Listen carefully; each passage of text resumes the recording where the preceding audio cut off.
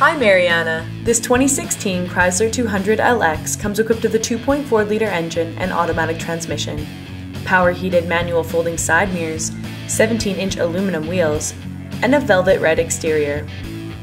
Aside from your standard features, this vehicle includes an outside temperature gauge, automatic headlamps, air conditioning, steering wheel mounted audio controls with cruise control, a media center with AM and FM radio, an MP3 input jack, a USB port, a 12 volt power outlet, and six speakers.